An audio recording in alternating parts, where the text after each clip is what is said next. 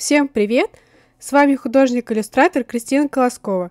И сегодня я хочу с вами поделиться своим конспектом. Так сказать, я ввожу новую рубрику под названием «Дай списать». На протяжении всей своей художественной деятельности я постоянно учусь. И часто я записываю конспекты в тетрадочку. В тетрадку всегда можно заглянуть и освежить память. И в этот раз я буду делиться конспектом, который составила совсем недавно, о том, как же рисовать эллипсы. До того момента, как я решила изучить эту тему, я рисовала эллипсы на интуитивном уровне. И как правильно их рисовать, я не имела представления. А теперь давайте поподробнее разберемся с этой темой. Для начала разберем, что такое эллипс и как его рисовать. Эллипс – это круг в перспективе. А для того, чтобы его построить, для начала нужно нарисовать перекрестие. Рисуем перекрестие.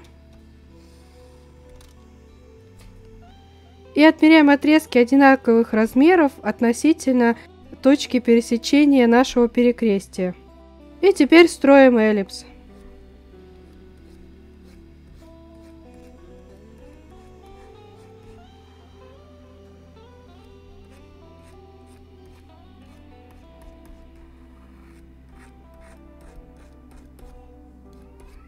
А для того, чтобы правильно его построить, необходимо знать три правила – и сейчас как раз эти правила мы рассмотрим.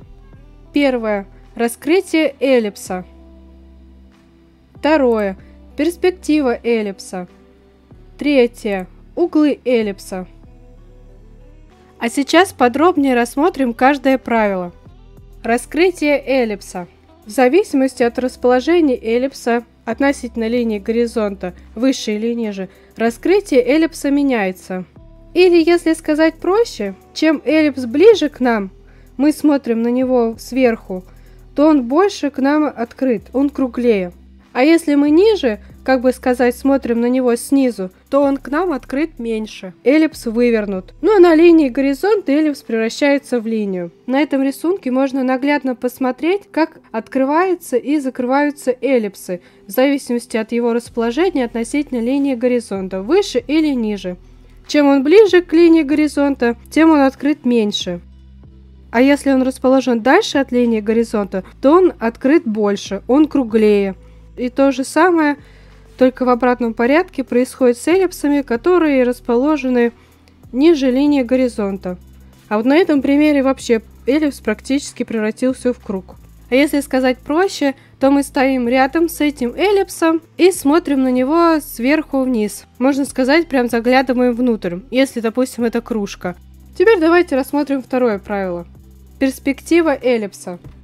Одна из половинок эллипса, ближайшая к нам, будет выглядеть визуально крупнее, чем вторая половина. Это все из-за того, что начинает действовать закон линейной перспективы. Чем ближе к нам объект, тем он крупнее. А если объект удален от нас, то он выглядит меньше. Поэтому при построении эллипса линию, которая показывает середину эллипса, необходимо располагать чуть выше середины. Это в случае, когда линия горизонта находится над эллипсом. А если линия горизонта расположена под эллипсом, то серединную линию необходимо располагать чуть ниже середины эллипса. Опять же, вот наша линия горизонта. И вот у нас здесь серединные линии наших эллипсов. Вот как раз в случае, что линия горизонта находится под эллипсом. И вот эта часть, которая будет отдалена от нас, будет меньше. А которая ближе к нам, будет больше. А если линия горизонта расположена над эллипсом, то вот эта часть к нам ближе, она больше, а задняя часть она меньше. И, соответственно, серединная линия эллипса располагается чуть выше середины эллипса. А теперь рассмотрим последнее правило. Углы эллипса. Чтобы эллипс выглядел правильно, его углы всегда должны быть скругленными. Они не должны быть вот такие, они должны быть вот такие.